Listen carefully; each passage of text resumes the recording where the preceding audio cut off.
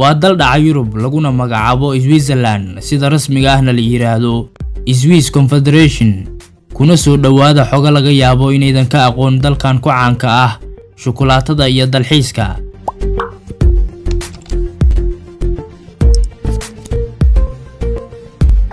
Switzerland waa dal dhaca bartamaha yurub wuxuuna xad la leeyahay dalalka italy germany faransa austria iyo liechtenstein oo bariga kaga beegan wuxuuna ka mid yahay toban iyo toddobada dal ee yurub dhaca kuwaasoo aan wax bad ah lahayn.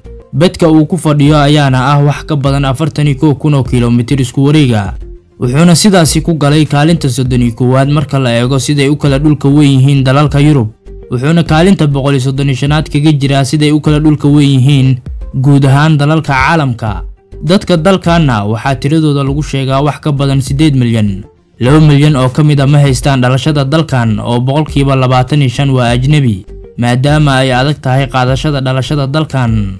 Waa jamhuuriyad federaal ah islamarkaana dimuqraadi ah waxayna ka kooban tahay labaatan iyo lix kantonis ama maamul goboleed. Muuqaalkan muuqaalkii ka horeeyey ee dal ah waxaan kaga hadalnay lubnaan waxaana sheegnay in awood qaybsiga dalkaasi uu ku salaysan yahay diin. Haddii ay ka duwaneedna lubnaan dalalka kale ee carabeed sidoo kale switzerlandna waa dal ka nidaam duwan dalalka kale ee yurub. Switzerland ma lahan hal madaxweyne oo sannado xafiiska fadhiya waxaana la dhihi karaa waa dal aan lahayn madaxweyne. Dalkan wuxuu leeyahay xukuumad ka kooban toddoba wasiir oo la doorto. Toddobada wasiir ee la doorto mid ka mid a ayaana madaxweyne noqda wuxuuna xilka hayaa muddo hal sano ah oo keliya waxaana beddela wasiir kale sidaasi ayayna kursiga madaxweynaha isugu badbedelaan wasiirkii noqdaa madaxweyne halka sano uu xilka hayo wax awood ah uu dheeryahay saaxiibadiisa kale ma jirto.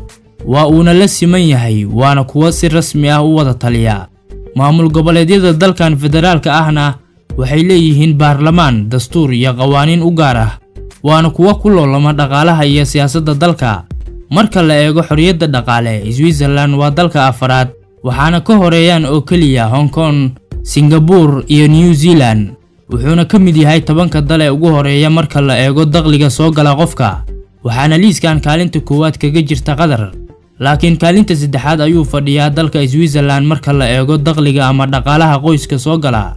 Waa dal aan ka mid ahayn dalalka xubnaha ka ah midowda yurub wuxuuna ka mid noqday dalalka xubnaha ka ah qaramada midoobay sannadkii labada kun iyo labadii. Boqolkiiba toddobaatan iyo shan oo ah shacabka dalkan ayaa diideen sannadkii kun sagaal boqol siddeetan iyo lixdii in switzerland ay ka mid noqoto qaramada midoobay.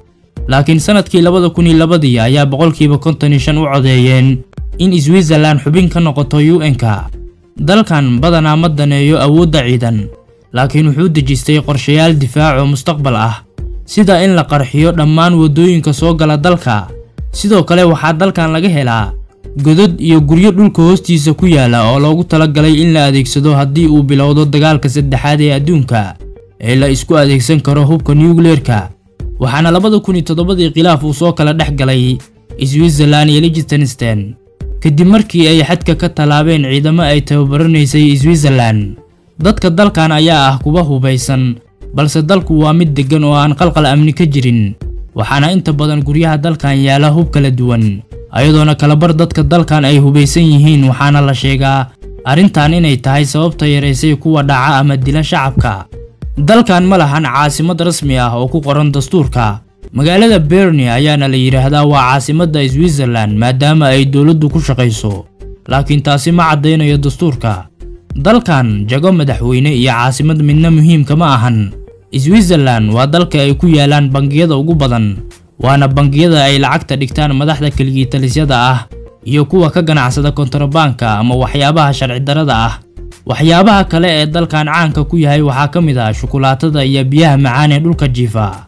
Wuxuuna leeyahay kun iyo shan boqol oo haro oo laga helo boqolkiiba lix guud ahaan biyaha macaan ee laga cabo yurub. Muwaadinka u dhashay switzerland ayaana ah midka ugu badan ee cuna shukulaatada waxaana xusid mudan in switzerland soo saarto sannadkii shukulaato dhan boqol toddobaatan iyo shan kun oo tan